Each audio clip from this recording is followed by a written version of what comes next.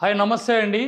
లక్షలాది మంది ఎంతో ఇష్టంగా చూస్తున్న మా సుమన్ టీవీ ప్రేక్షకులు నమస్కరిస్తూ ప్రకృతి మాత ప్రసాదించే ఎన్నో అద్భుతాలలో అద్భుతమైనది ఈ ముద్ద మందారం. ఈ మందారం ఎన్నో రకాలు ఉన్నాయి ఇందులో. ఇది విచ్చుకుంది కాబట్టి ఇది రేకుల మందారం అని ఇలా ముద్దగా ఉంటే ముద్ద మందారం అని ఎన్నో పేర్లు ఉన్నాయి ఈ మహాతల్లికి. రెండవది మెంతులు మూడవది కొబ్బరి నూనె. వీటితో ఆ రోజు ప్రాచీన కాలంలో ఆది మానవులు వీటితో ఎలా తయారు చేసి వాళ్ళు ఆహారంగా తీసుకున్నారు ఇది దేహ సౌందర్యానికి వాడారు శిరో మర్దనకు వాడారు ఈరోజు మనం ఎందుకు చేయట్లేదంటే చెప్పేవాళ్ళు లేరు. వీటి వల్ల వచ్చే మనకి ప్రయోజనాలు ఎన్నో అద్భుతాలు. చిన్నపిల్లల నుంచి ఒక నలభై నలభై ఐదు ముసలోళ్ళ వరకు ఎంటికలు ఊడిపోయే సమస్యని ఇది ఆపేస్తుంది. కంటికి చలవ చేస్తుంది.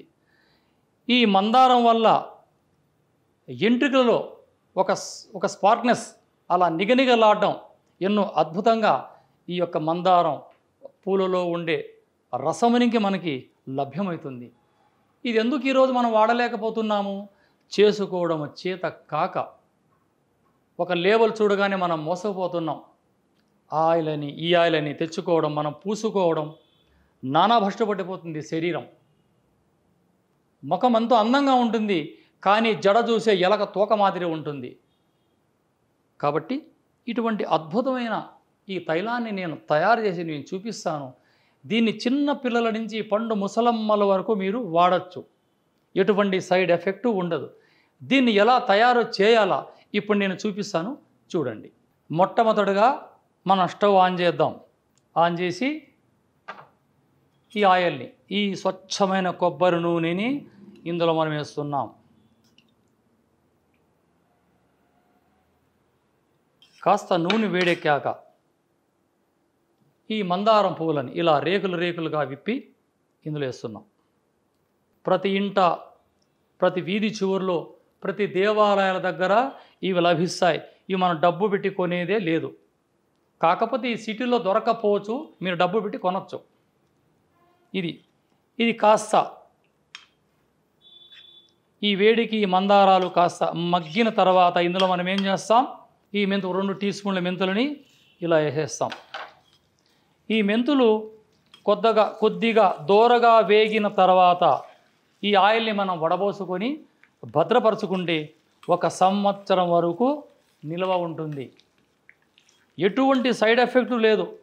కంటికి చలవ చేయడం ఎంట్రుకలు పెరగడం ఇంకా కొన్ని ఇందులో యాడ్ చేసే ఊడిన ఎండుగులు కూడా ఖచ్చితంగా మలుస్తాయి. కాబట్టి పెద్దలు చెప్పినటువంటి రెమెడీని మీరు పాటిస్తూ ఈ ఈ తైలాన్ని మీరు ఎల్లప్పుడూ వాడుతూ ఉండొచ్చు. ఇదే తైలం బాడీకి మాలిష్గానే చేసుకోవచ్చు. ఈ అద్భుతమైన తైలాన్ని ఇలా చేయడం జరిగింది.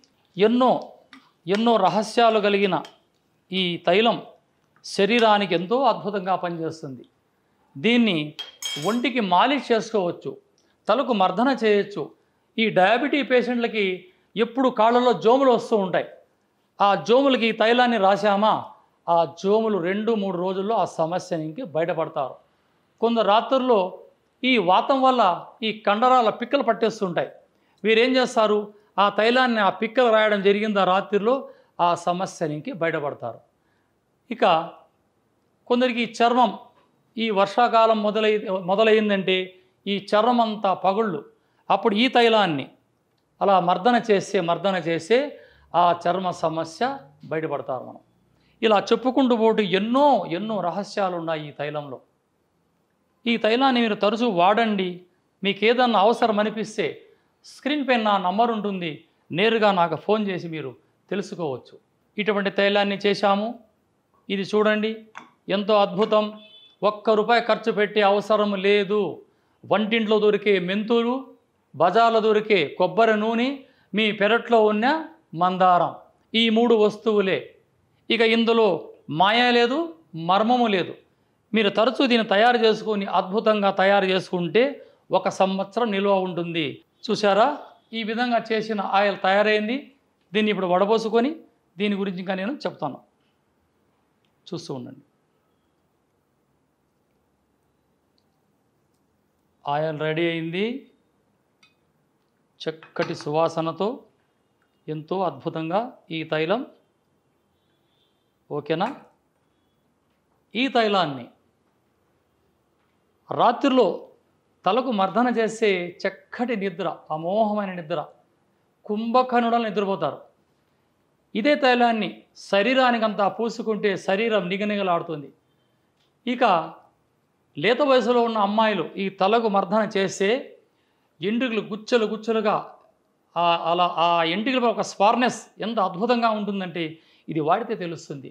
ఇటువంటి తైలాలు తయారు చేసుకొని మన పెద్దలు చెప్పినట్లుగా మనం చేసుకుంటే ఎంతో అద్భుతం. బయట నుంచి తెచ్చే ఆయిల్ మీరు వాడకూడదు. చక్కటి రెమెడీ పెద్ద ఖర్చు లేదు ఇది. ఇది సింపుల్గా ఈ రెమెడీని తయారు చేసుకొని ఈ తలకు మర్దన చేసిన కొందరు ఏం చేస్తారంటే రాత్రి పది పదకొండు గంటలు పనుకొని ఉదయం తొమ్మిది పది వరకు నిద్రపోతుంటారు. ఇది దరిద్రం. ఇట్లా పనుకుంటే మీకు దరిద్రము అనారోగ్యం కూడా. ఇది ఇది తైలం పూసుకున్న తర్వాత తొమ్మిదింటికల్లా నిద్రపోవాలి? ఐదింటి ఐదింటికి లేదా రెండవది కొందరికి వాసన చూసి సు- సువాసన తెలియదు. అప్పుడు ఏం చేయాలి? ఈ యొక్క తైలాన్ని ముక్కులో రెండు చుక్కలు వేసుకోవాలి. ఇక్కడ ఒకటి ఇక్కడ ఒకటి ఆ తర్వాత మాంసం పెరిగి ఉంటుంది ముక్కల్లో. ఆ- లిపోమా కొవ్వుగడలు ఏ విధంగా శరీరంలో పెరుగుతాయో ఈ ముక్కులో కూడా దుర్మాంసం పెరుగుతుంది.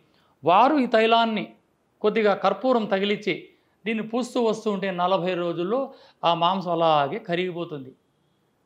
ఇది రెమెడీ చిన్నది. ఎన్నో అద్భుతాలు.